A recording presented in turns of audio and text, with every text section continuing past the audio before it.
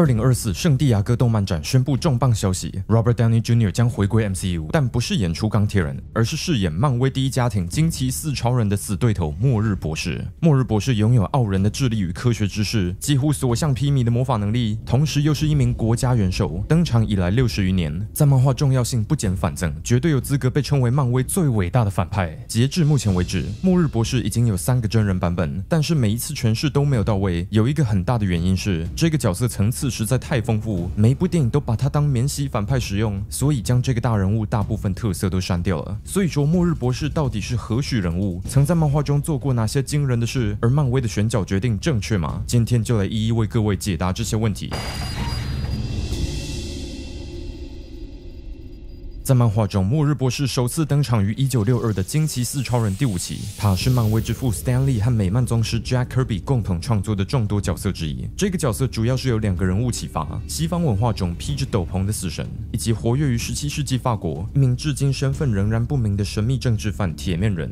末日博士的设计将他全身上下都以衣物或盔甲覆盖，刻意隐藏他的人性，目的是为了强调跟金属一样冷酷无情的死神形象。此外，末日博士也是一个从疯狂科学家角色原型演变而来的人物，所以他同时具备科技与魔法的力量。在他的第一个故事中，末日博士就绑架隐形女，利用他发明的时间平台，强迫其余惊奇四超人回到十八世纪，从知名海盗黑胡子手中夺取巫师梅林的魔法石，然后又利用机器人替身，避免被惊奇四超人打倒。不过，这个角色的背景故事在二零零五年的毁灭之书独立系列中才被完整描绘出来，但是某些细节在不同故事中有所出入，不确定哪一个版本才是真相。为末日博士增加一些神话性色彩。Victor Von Doom 诞生于虚构国家拉脱维利亚，来自杰菲罗族的罗姆人。罗姆人以前被称为吉普赛人，但吉普赛这个名字带有歧视意味，所以后来就渐渐不被使用了。Victor 声称他还在母胎中就已经产生自我意识，而且出生不久就已经展现惊人智力。Victor 的母亲 Cynthia 为了守护饱受歧视的族人，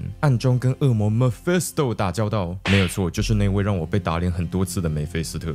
但是跟恶魔交易总是会吃亏。某天。Victor 的母亲决定向欺压族人的男爵手下报仇，却不知道自己能力是拿村庄里的孩子当代价。最后，Cynthia 被愤怒的村庄士兵重伤，并且在临终前交代 Victor 父亲 Werner 不要让孩子像他一样成为恶魔的受害者。在这之后，Werner 和 Victor 父子连同仅存的杰菲罗族人被逐出家园，四处流浪。Cynthia 的灵魂则是被梅菲斯特囚禁在地狱。几年后，男爵的妻子罹患重症，需要医生，跑来寻求 Werner 帮忙。Werner 太过善良，所以还是同意前往城堡替男爵夫人看病。没想到夫人病逝之后，男爵却恶劣的把这件事怪到 Werner 头上，导致 Werner 必须带着 Victor。逃亡，在大雪纷飞的山林里逃避追兵。Werner 用尽全力保护儿子，让 Victor 存活下来，但自己却失温而死。这让 Victor 变得更加冷酷无情，开始钻研科技以及当初母亲接触的近禁忌魔法。就让 Victor 年仅十六岁就成为部落领袖，并且成为族人守护者，保护他们免受男爵伤害。Victor 的事不知如何传到美国，让他收到邀请前往纽约就读大学，并同时替美军开发科技。在美国期间，Victor 结识后来成为惊奇先生的 Reed Richards。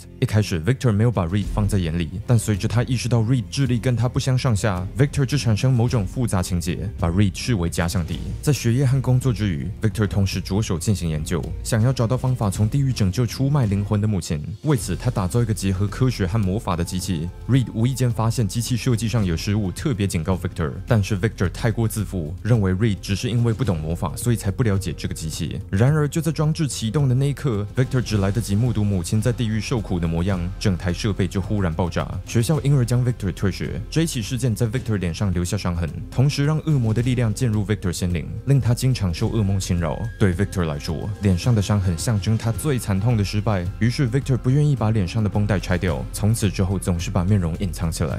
不久之后，Victor 逃离美国，浪迹天涯一段时间，并且被青梅竹马 Valeria 找上。Valeria 让 Victor 知道，他离开美国之后，男爵想要讨好美国政府，所以为了打听 Victor 下落，而不断袭击杰菲罗族人。同时，苏联特务。为了强迫 Victor 协助他们挟持 Valeria，但是被一名魔法师阻止。魔法师临死前告诉 Victor，他来自一个西藏的山顶神殿，那里多年来有一个预言，说 Victor 将会成为领导神神殿的伟大人物，于是要他前往学习秘术。为了获得更强大的能力，Victor 就抛下 Valeria，前往魔法师口中的神殿。果然如魔法师所说，Victor 很快就成为秘法大师，神殿的信徒也成为他的忠心仆人。但是在他修行期间，男爵顺利透过苏联福祉成为拉脱维利亚的国王。Reed Richards 也因为种种成就，成为举世闻名的科学家。时隔多年，在电视上看到劲敌的 Victor 妒火攻心，要求手下替他冠上博士头衔。而 Victor 的姓氏 Doom 跟末日是同个字，所以他从此就被称为末日博士。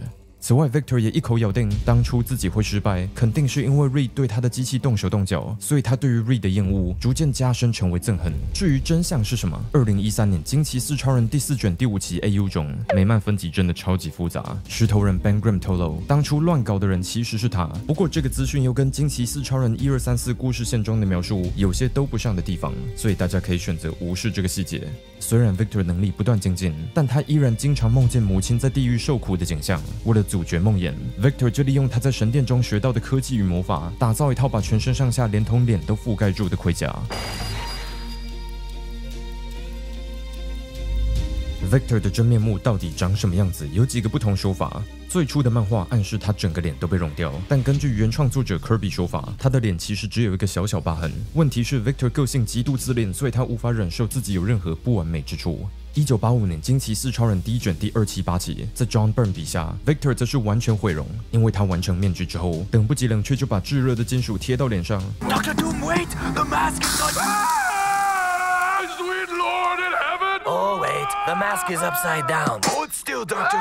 末日之书刻意隐藏意外之后 Victor 的长相，但是并没有保留他被面具烧伤的发展。往后的故事中，他的脸一下毁容，一下没事，老实说有点难追踪状况到底如何。譬如二零一四年 FF 第二卷第十六期，他外表完好无缺的状态下，生命法庭惩罚他每干一件坏事，脸上就会多一条伤疤。在二零一五年秘密战争结尾，惊奇先生利用超越者的力量治好 Victor 的脸，同时净化他的心灵，所以他实际上到底长什么样子，会因为目前的故事发展而截然不同。成为末日博士之后，Victor 认为时机成熟，于是就展开复仇计划。他带着忠心仆人 Laren 回到故乡，在族人协助下招兵买马，并且利用他发明的末日机器人军团，成功推翻国王政权，成为拉脱维利亚新任君主。在这之后，Victor 利用他的科技看遍许多版本的未来，发现人类总是会走向自我毁灭，只有其中一个未来中，世界和平、疾病跟争端都被消除。而达成这个未来的关键，就是必须有末日博士担任全人类统治者。于是，末日博士在那之后，主要就是在做三件事：试图拯救母亲灵魂，骚扰惊奇四超人，还有忙着征服世界。这个故事的后续发生在一九八九的奇异博士和末日博士凯旋与折磨中。为了厘清谁是漫威主宇宙的至尊魔法师，受人敬仰的魔法大师 Agent Genghis 召开一场魔法挑战，最后奇异博士胜出，获得头衔。而依照传统，至尊魔法师必须答应第二名，也就是末日博士的要求。奇异博士起初对这个责任非常排斥，但是末日博士表示他只希望拯救母亲。于是奇异博士就答应出手协助。在地狱，两人联手度过许多难关，但是关键时刻，末日博士忽然跟梅菲斯特交易，拿奇异博士灵魂当做代价，赎回母亲自由。没想到 Cynthia 得知儿子干的好事，就拒绝跟 Victor 离开地狱。而奇异博士也发现末日博士偷塞一个能够让他脱身的道具，于是两人就有办法合力把梅菲斯特击退。而由于 Cynthia 无私的自我牺牲，所以他的灵魂就被净化，得到上天堂的资格。回到人间之后，两人就分道扬镳。而奇异博士也强烈怀疑这一切发展其实就是末日博士策划的结果。至于统治世界的目标，在一九九九的复仇者联盟末日皇帝中，末日博士有短暂成为全球最高领导者。而就如他目睹的未来，世界上许多问题也被解决，但是全人类也都因此失去自由，活在极端高压的恐怖统治下。二零一二的惊奇四超人第一卷第六一一集，末日博士来到另外一个只有一片虚空的宇宙，利用无限手套的力量重建出整个世界。后来他在这个宇宙逝世，被惊奇先生一行人拯救。获救之后，他表示：“我曾经是个神，我意识到这个身份配不上我的地位。”好哦。二零一五的秘密战争中，宇宙冲撞把多重宇宙毁灭，于是末日博士利用超越者力量，将仅存的现实重组为战斗世界，并且以末日神君的身份担任统治者。当然，最后他还是被宿敌惊奇先生阻止，因而失去神力。具体来说，末日博士能力到底是什么？简而言之，他是个通才，聪明才智跟世界上最聪明的男人 Reed Richards 难分轩轾。魔法能力也让他拥有成为至尊魔法师的资质。光是这两种特质，就衍生出许多其他能力，像是时间旅行、无息开发、远端传送、召唤超自然存在、魔法冲击波、各式各样咒语和治愈能力等等。在二零一二《无敌浩克》第三卷第五期中，末日博士曾用亚德曼金属电锯把浩克头盖骨切开，透过手术把 Bruce Banner 人格摘除，移植到一个复制身体让 Bruce 和浩克变成两个独立个体。在西藏修炼期间，Victor 同时也学习武术，所以搭配上科技和魔法打造的盔甲时，他在肉搏上能够跟多数英雄打得难分难解。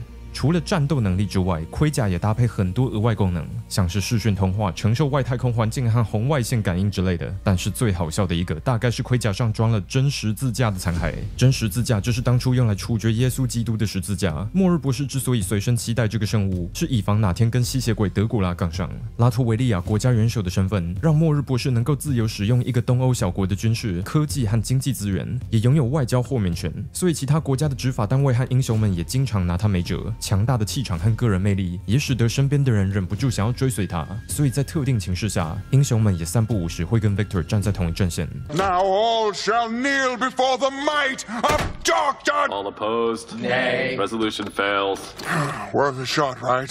像钢铁一般坚定的意志，让他能够抵挡多数大脑操控术，以及驾驭常人没办法承受的强大能力，像是超越者近乎无所不能的力量。此外，末日博士也拥有一些心灵力量，像是机械感应、催眠，以及他从外星种族弹头人学来的心灵互换术。严格说起来，末日博士唯一弱点就是他个性太傲慢，所以容易因为低估人而出现盲点。末日博士之所以是历久不衰的反派，不只是因为他集结各式强大能力的设计和中二的有点讨喜的狂妄性格，更是因为他是惊奇四超人的完美对比。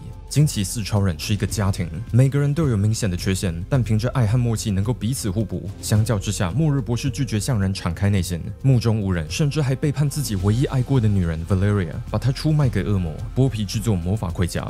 末日博士冷酷又自私的性格，可以说是为了补偿他这辈子所经历的创伤而建构起来的自我保护机制。而他虽然只有被逼到极限的时候才承认，但是 Victor 之所以如此痛恨 Reed，是因为他其实非常嫉妒惊奇先生所拥有的一切，而他近乎无所不能的才华，跟别扭又小家子气的核心动机就相映成趣。这样复杂的设定，就把末日博士跟其他漫威反派做出区别。事实上，末日博士有时候甚至会不情愿的当个好人，不过总是会宣称这一切都是为了自己的野心。就像万磁王对于变种人国家吉诺莎，末日博士也时时刻刻关照拉脱维利亚的平民，好证明自己是个伟大的领袖。在更大的危机出现时，他也会跟英雄站在同一阵线，只为了证明自己更胜那些英雄。最后，他更是帮助自己劲敌惊奇四超好几次。某一次，他在惊奇先生被绑架时，帮隐形女接生。在这之后，他们也让末日博士成为女儿教父，而末日博士也将刚出生的小孩依据自己的爱人而命名为 Valeria。对于末日博士来说，这是他最大的胜利。他等于是偷走了 Valeria 跟 Reed 的亲情，不仅接生命名，女孩说的第一个字也是 Doom。他长大之后，也因为不信任 Reed 而搬到拉脱维利亚。末日博士与 Valeria 的所有温情互动，都是在伤害惊奇先生。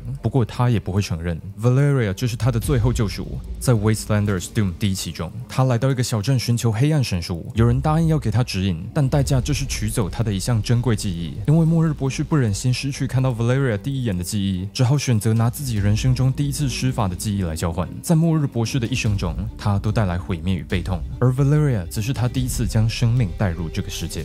这也是为什么末日博士经常被形容为莎士比亚式的角色。至于 MCU 最新的选角新闻，我们或许能够透过检视原作内容来推敲 RDJ 饰演的末日博士会以什么形式出现在电影中。漫画中，末日博士跟一堆英雄都曾经交手，但他和钢铁人算是有些渊源。两人最经典的一个故事线——末日任务，发生在1981年《无敌钢铁人》第一四九到一五零期。剧情讲述 Tony Stark 属下违背禁令偷卖武器给拉脱维利亚，导致钢铁人必须亲自出面把东西讨回来。想当然尔，末日博士不会乖乖把货物送回去。不过就在末日博士跟钢铁人打成一团的时候，两人就被时光平台传送回亚瑟王时代。钢铁人加入亚瑟王阵营，末日博士则是跟亚瑟同母异父的姐姐摩根。跟勒菲结盟，双方展开冲突，由末日博士率领摩根召唤的活死人大军跟钢铁人还有亚瑟王骑士交锋。最后虽然活死人大军被打败，摩根、勒菲直接落跑，两名主角还是决定暂时休战，合力打造一台时光机，把他们送回1981。由于末日任务十分受欢迎，1989的时候漫威还推出续作，让两个角色被传送到未来，跟投胎转世的亚瑟王合作。此外还有另外两个蛮有趣的状况，其中一次是在正史故事中，末日博士成为新任钢铁人，在内战二结尾托尼被惊奇队长打败，大家都以为他挂了。Victor 则是在秘密战争结尾被惊奇先生心灵净化，改邪归正。于是，在2016恶名昭彰钢铁人中，Victor 就穿上钢铁人盔甲，努力尝试成为英雄。另一个故事则是假设 Tony Stark 在一连串意外之下变成末日博士。2010年的《假如钢铁人盔甲中的恶魔》描绘出 Tony 跟 Victor 成为大学室友情境。在这个故事中，Victor 没有打造出前往地狱的机器，而是一台能够让人心灵互换的设备。透过这个发明，他顺利窃取 Tony 身体，然后继承 Stark 工业，成为商业巨擘。被植入 Victor 体内的 Tony 则是因为失去奖学金而遭退学，遣返拉脱维利亚，这让 Tony 陷入前所未见的谷底，过着贫困的生活。但是被逼到绝境，反而激发他的潜力。于是 Tony 就奋发图强，凭一己之力争取到新的奖学金，念到学位，然后在拉脱维利亚创业，成为事业有成的发明家。多年之后，Victor 因为不断乱来，导致 Star 工业经营状况走下坡。于是他就决定穿上他替美军开发的钢铁盔甲，前往拉脱维利亚窃取 Tony 发明的方舟反应炉科技。Tony 得知敌人来袭的时候，就只好穿上他发明的救援装甲应战。最后，Tony 凭着策略打败 Victor，而 Victor 求情的时候表示他愿意把身体还给 Tony，但 Tony 拒绝这个提议，决定以 Victor Von Doom 身份继续活下去。从这个角度来看，其实就不难理解为什么漫威会想要找 Robert Downey Jr. 饰演这个角色，毕竟两人全身都被盔甲覆盖，都是自恋天才，而且都带有一些道德灰色地带的色彩。当然，更大的理由肯定还是为了拯救漫威下滑的票房。但是在好莱坞，有哪个决策不是以赚钱为题去做的？唯一知道的是，RDJ 的末日博士并非来自 MCU 主宇宙，而是最新版本惊奇四超人的宇宙。这个版本会如何被描绘，有点难猜测。他会是一个 Tony 的变体吗？还是像 Chris Evans 的霹雳火，只是长得一模一样的另外一个人？还有另外一个可能性，就是漫威像超时空战警的主角那样，完全不让 RDJ 露脸。但根据产业新闻，这次迪士尼总共会付给 RDJ 超过一亿美的片酬，所以这个可能性微乎其微。相信 RDJ 不是以钢铁人的身份回归 MCU，大家都有各自的想法。大家看好还是看衰，都可以在底下发表一下，或是一起来猜猜 MCU 末日博士的故事会以什么样的方式展开。现在就点画面上连接看更多影片，我是超立方，我们下部影片见。